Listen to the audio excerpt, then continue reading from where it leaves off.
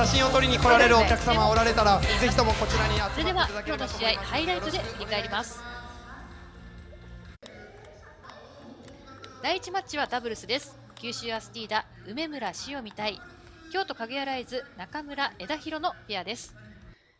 九州ペアはもう長年組んでるペアだったので有利かなと思ったんですがこの京都ペアがこの第1ゲームの序盤からしっかりこうリードをして、まあ、枝広選手がこの中村選手を引っ張ってこの第1ゲームを11対7で取ることができておっと思ったんですが、まあ、第2ゲームからは九州ペアがしっかりとまあサービスからの展開であったりあとコース取りですよねしっかりとこうコースをついて第2ゲームを取ることができました。まあ、第3ゲーム、ファイナルゲームは本当にこう一進一退の攻防で本当にどちらが勝ってもおかしくない状況だったんですが最後、やはりこの九州ペアがこうこペアリングですねコンビネーションの良さが非常に光ったかなと思いました。やはりこの梅村選手のサービスが非常に良かったですよね。こはいのサービスエースは非常に大きかったです。はい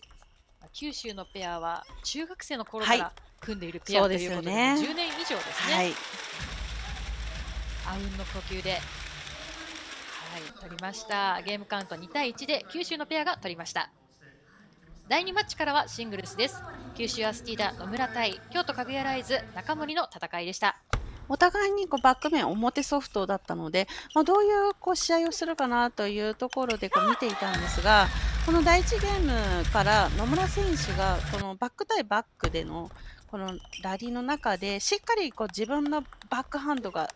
できてこう点数を取ることができたのは大きかったかなと思います。はい。まあ、サービスも含めてですけれども本当に野村選手のこう巧みさが非常に出ていたかなと思います。また中森選手も、まあ、苦しい展開の中で第3ゲーム、まあ、自分の良さのフォアをしっかりとこう点数取ってですね第3ゲームこう11対10で取ってあ分からなくなったかなと思ったんですがやはりこの最後野村選手のやはりこの思い切ったこのバックハンド攻撃ですよね。ここは本当に最初から最後までブレずにやっていたから、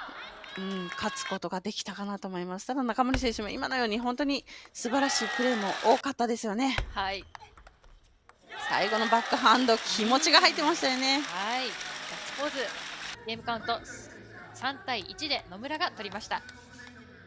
第3マッチです。九州アスティーダ井出沢対京都かぐやライズ木村の戦いでした。はい、もう井出沢選手も昨日こう平野選手に惜しくも負けはしましたが調子の良さがこう感じられる試合でしたので今日の試合どういう試合をしてくれるか楽しみでしたまた木村選手も実業団のこのトップとしてこう戦っていましたので本当にこの1ゲーム目から高ラリーの連続だったなというふうに感じましたはい。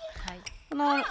井出沢選手のこの回転にも木村選手がしっかりとついてでフォアサイドうまくついていたんですが最後の最後は井出沢選手の本当に高い守備力ですよね。はい。ここで点数を取って最後こう勝ち切ることができたのは大きかったかなと思います。本当に3対0でしたけれども本当にこう試合内容互角だったなというふうに感じました。そうですね。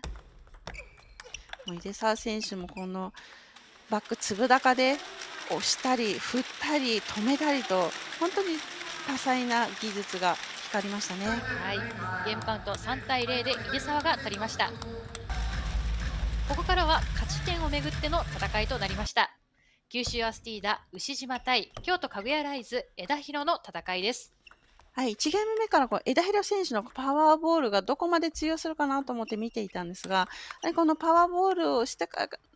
つっつきですよね、こうしっかりと様子を見ながらの展開だったんですが、途中から1ゲーム目の後半から牛島選手が攻撃をこう混ぜたことによって、ちょっと枝広選手が焦りというところも感じていたかなと思います。でこの牛島選手の非常にこのバック面の多彩さといったところでチャンスを作っての攻撃、カットといったところが非常に素晴らしかったなというふうに感じました。本当に今日の牛島選手は本当に穴がなかったですよね。そうですね。はい、もう体勢も崩れることがほとんどなかったなというふうに感じました。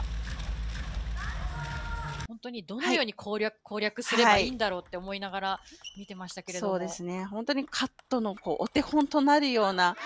こうこうカットあり攻撃ありといったセットプレーがですね非常に素晴らしかったです。はい。